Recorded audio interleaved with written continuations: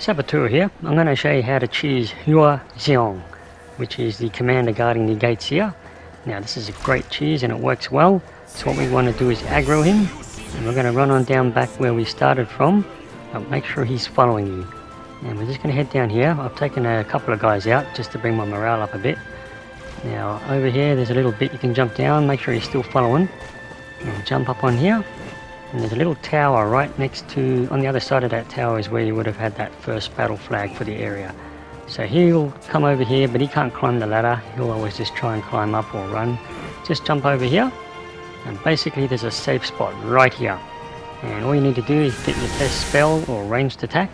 I'm using a Fire Virtue build. And just fire away. And you can also use poison or fire. And as you can see, works well. So it's a great cheese, takes him down pretty quick. I'll show in a moment later, you can go right up to that little corner bit there without even getting hit at all. And I'll use one of my low level um, close range spells as well. That also goes through that barrier and he can't even hit you. So you can't even get any damage from him at all.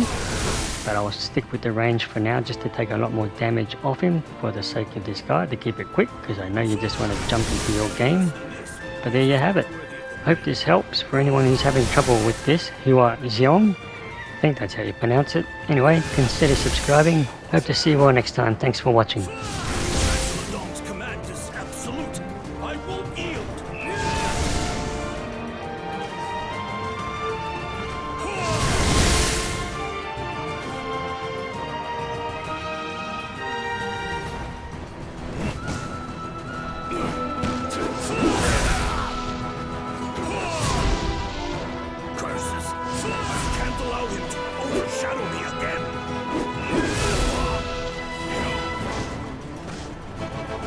Again!